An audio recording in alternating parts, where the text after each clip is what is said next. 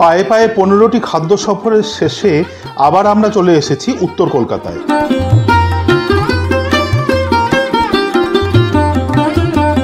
আর উত্তর কলকাতায় আমাদের আজকের খাদ্য সফর চলবে এখানকার সবচেয়ে জনপ্রিয় ফুড জোন বাগবাজার অঞ্চলে। বাগবাজার স্ট্রিটের দুই ধারের কিছু বিখ্যাত এবং গুরুত্বপূর্ণ ফুড স্পট নিয়ে আমাদের আজকের এই খাদ্য সফর। তাই স্কিপ না করে পুরোটা দেখুন, কথা দিচ্ছি আপনাদের ভালো লাগবে। তার আগে যারা এখনও চ্যানেলটি সাবস্ক্রাইব করেননি, তাড়াতাড়ি সাবস্ক্রাইব করে অল অপশন সিলেক্ট করে রাখুন। তো চলুন শুরু করা যাক।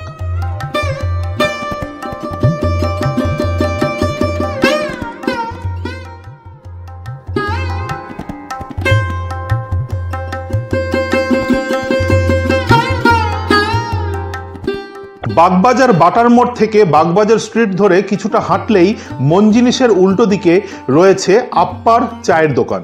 এক যুবক এই দোকানটি চালান। ভালো নাম শুভজিৎ রয় চৌধুরী ডাকনাম আপ্পা। মাটির ভাঁড় ছাড়াও এখানে রয়েছে চকোলেট কাপ। ওয়েফার দিয়ে তৈরি কাপ, ভেতরে পুরু ও শক্ত চকোলেটের আস্তরণ। দু রকমের কাপ পাওয়া যায়, স্ট্রবেরি কাপ আর ম্যাঙ্গো কাপ। বেশ সুস্বাদু, ঘন দুধের চা। চায়ের শেষ চুমুক চকোলেটের সাথে মিশে এক মায়াবী স্বাদের অনুভূতি দেবে আপনার স্বাদকরকে। চা খাবার পর নিশ্চিন্তে কাপটা খেয়ে নিতে পারেন। এক কাপ চায়ের দাম কাপসহ ত্রিশ টাকা।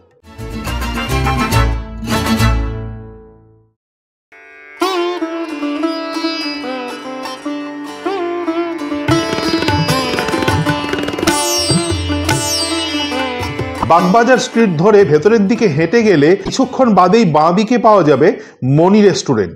নামে রেস্টুরেন্ট হলেও এটি আসলে একটি ছোট্ট চাকাওয়ালা দোকান এবং অবশ্যই জনপ্রিয় একটি বিশেষ খাবারের জন্য। সেটি হচ্ছে এখানকার মাছের কচুরি।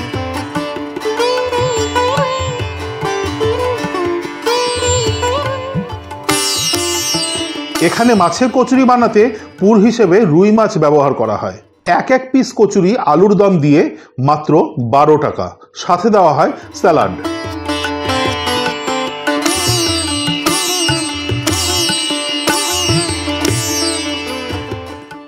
এত সুন্দর খাস্তা অথচ মোলায়েম কচুরি খুব কম দোকানে পাওয়া যায়। কচুরির এই বাইরের স্তর যেন ভেতরের মাছের পুরকে পরম ভালোবাসায় আগলে রেখেছে। আলতো হাতের চাপে এই বাইরের আস্তরণ ভেদ করে সেই মাছের পুরের অস্তিত্ব তো পাওয়া যাবে, তবে তার স্বাদের যথাযথ বহিঃপ্রকাশ ঘটার জন্য চাই যথাযথ সঙ্গত বলা বাহুল্য, সাথে দেওয়া আলুর দম আর স্যালাড সেই যোগ্য সঙ্গতের ভূমিকায় পালন করেছে।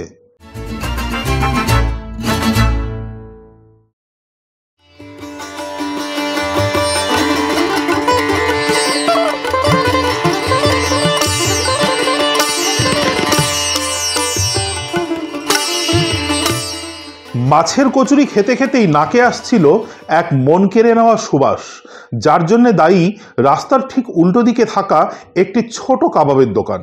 দেখতে ছোট হলেও ব্রোস কাবাব নামে পরিচিত এই দোকানটি উত্তর কলকাতার মানুষের মন যে ভালোভাবেই জয় করে নিয়েছে, সেটা সন্ধ্যার পর এখানকার ভিড় দেখলেই টের পাওয়া যায়।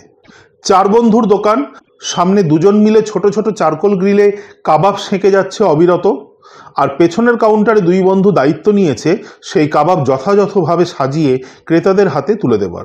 এই চার মূর্তির পরামর্শ মেনে আমি অর্ডার দিলাম লাহোরি কাবাব। দাম ষাট টাকা মাত্র।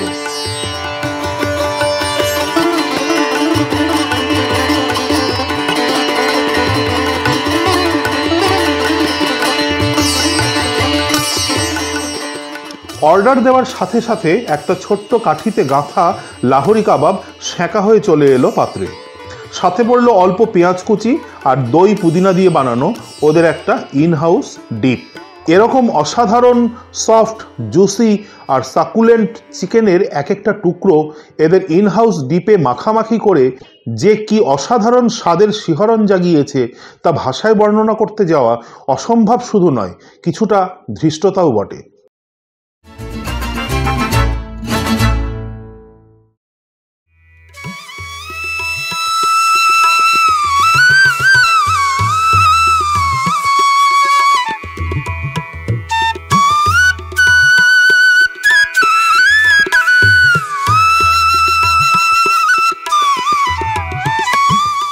বাগবাজার স্ট্রিটের খাদ্য সফরে যে খাবার একেবারেই মিস করা উচিত নয়, তা হলো এখানকার কুলফি। ব্রোস কাবাবের পাশেই গলির অপর দিকে এক ভদ্রলোক বসেন এই কুলফি নিয়ে। দুই রকমের কুলফি পাওয়া যায়, কেশর কুলফি আর রাবড়ি কুলফি।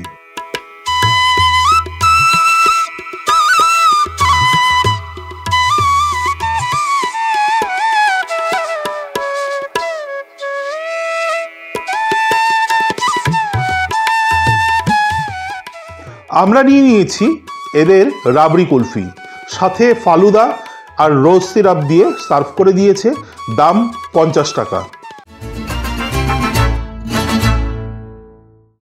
কুলফির দোকানের ঠিক উল্টো দিকেই রয়েছে বাগবাজার স্ট্রিটের বিখ্যাত পটলার কচুরির দোকান। দোকানটি প্রায় একশো বছরের পুরনো।